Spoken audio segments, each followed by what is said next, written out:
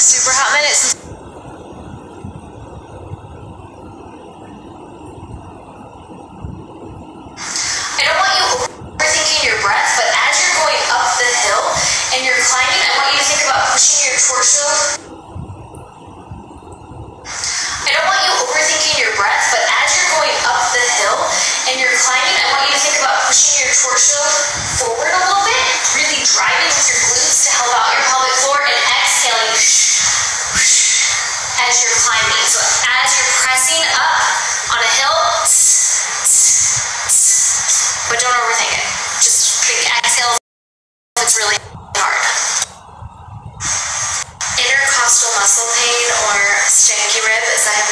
Deemed it, is really painful.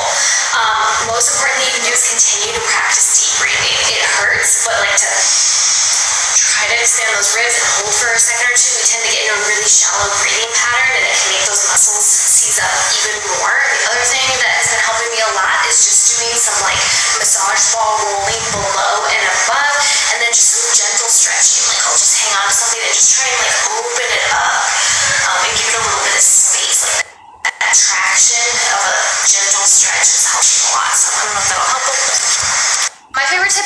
saute a bunch of veggies like early in the week, just like a whole big pan, like whatever you've got in there. And then you can mix it in with eggs. If you don't like eggs, you can use it as a side. Also, if you don't eat veggies at breakfast, it's not gonna be the end of the world. Like, but not the end of the world.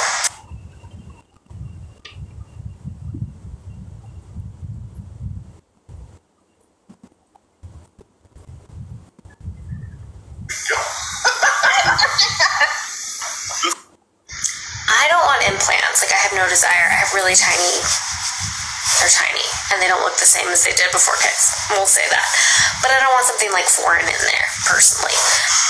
Um, I've actually met with a few surgeons about possibly having a tummy tuck at some point, just because I have so much skin. But it would 100% be a vanity move on my part because my core is so functional and totally healed and I have like such good core integrity. so it was kind of like easier when I had really bad diastasis recti to be like, maybe I'll do it. Um, I go really back and forth on the subject because sometimes I feel like I like I'm totally honest conversation. I'm like, I work so hard, like I deserve to have like less skin. But then I think like, why do I feel the need to have less skin? Like, what is that societal pressure that says like I can't look like I had babies? So go back and forth.